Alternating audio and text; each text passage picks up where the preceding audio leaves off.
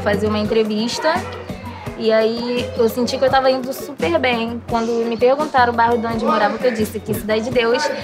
E aí eles falaram, tá, tudo bem. Mas aquele tá, tudo bem, que você sabe que não. Primeira experiência que eu tive assim que eu saí do exército foi uma entrevista de emprego, qual eu não fui muito bem. E então ele pegou meu currículo e olhou e falou assim: "É, cara, você vai lavar prato mesmo". Histórias como essa são muito comuns de ser encontradas nas comunidades. Assim como um dia eu precisei de um empurrãozinho para me desenvolver, agora a gente precisa da sua ajuda para criar novas oportunidades para que outros talentos possam surgir. A maioria dos jovens da Cidade de Deus eles têm muita dificuldade né, e baixa autoestima. Né? É, o local é, reprime muito é, e também poucas oportunidades.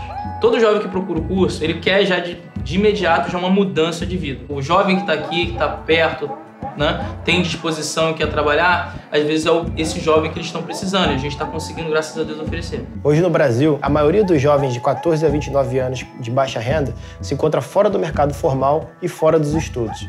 O programa Recode foi desenvolvido justamente para solucionar esse problema. O desafio de Recode é muito grande, mas essa mudança já está acontecendo. Qual é a importância que você vê do programa Recode hoje? Não é só ensinar tecnologia, É, entende? verdade. Não é só ensinar como é que você mexe no Word e tal.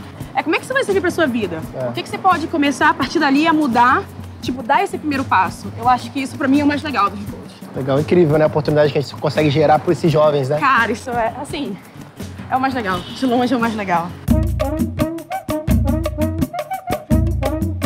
Realidade numa comunidade como essa é muito diferente do que muitas pessoas pensam. As empresas hoje precisam de jovens talentos para compor sua equipe. E aqui nessa comunidade existem jovens só precisando dessa oportunidade. Você acha que tem alguma diferença do jovem que vem da comunidade e o jovem que não é da comunidade? Eu colocaria para você que a diferença maior é a garra com que eles vêm para o trabalho. E quando eles se engajam no mercado de trabalho, eles começam a ver profissionais, pô, fulano é administrador, poxa, fulano é economista. Eles começam a se envolver e eles fazem o, vestibular, fazem o Enem e entram para a faculdade. É uma questão de oportunidade para esse jovem. Exatamente. O que o curso te ajudou? O que, que te facilitou para você poder hoje é, vir trabalhar? Eu Primeiramente, eu fiquei muito feliz, porque eu estava já há muito tempo procurando uma oportunidade de emprego. Eu não sabia mexer em algumas certas coisas do computador, Aham. Word, Excel, essas coisas. Agora eu aprendi, eu posso já para mim, no trabalho. Já tinha três filhos para criar, aí minha mãe não tinha essa uma renda mensal muito boa. Aí com esse trabalho eu, ajudo, eu posso ajudar ela agora. O jovem de comunidade é aquele jovem safo, aquele jovem que consegue resolver os problemas muito rápido. Ele tem um foco muito na entrega de resultados. O coaching desse jovem da comunidade é a comunidade, é a favela.